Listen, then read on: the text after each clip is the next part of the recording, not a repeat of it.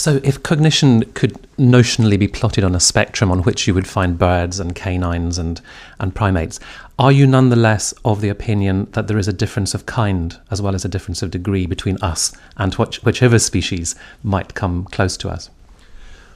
The idea that humans are cognitively unique has taken a battering over the years because most comparative cognitive psychologists have been straining at the leash to try and show that there's almost an uninterrupted continuum, if you like, along um, various aspects of cognition between us and other animal species. But I don't think that that's correct. And I think the idea of human cognitive uniqueness is now actually starting to reassert itself. There are a whole number of areas in which the human mind works that you see no evidence for it working in other animal species. Uh, the most obvious thing is human language. Uh, despite all the hoo ha over ape language experiments over the years, they cannot come anything near to uh, the, uh, the structure and widespread use of language that we humans have evolved. We also make huge uh, use of recursion, the idea of being able to, to think about things, acting upon things, acting upon things, acting upon things, in order to explain the world. Other animals do not appear to be able to use recursion. We also generalize. We can put information from various contexts together in fresh contexts in order to arrive at an explanation for what's happening in the physical world.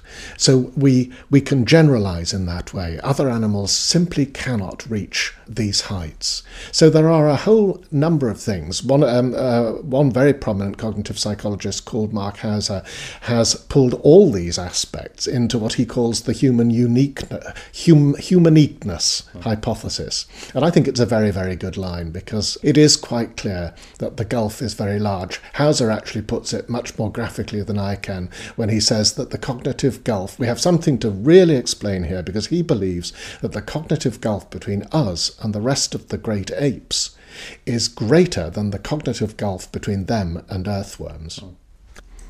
Let me ask you uh, final, finally, Jeremy, 20 years from now, how do you think we might be looking at uh, this question and our attitude to the great apes?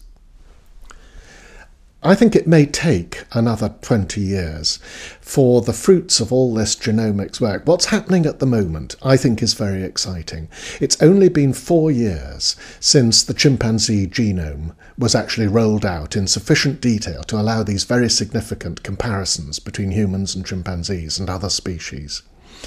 It's only over the last two or three years that a group of, I think, extraordinary scientists have begun taking genomics, neuroscience, the structure and function of brains, and cognition, how brains work to produce mental activity and behavior, and begun to try and really forge links and understanding between these three different levels of looking at organisms. In other words, rolling genomics, neuroscience, and cognition into a really profound understanding of how, of how evolution works.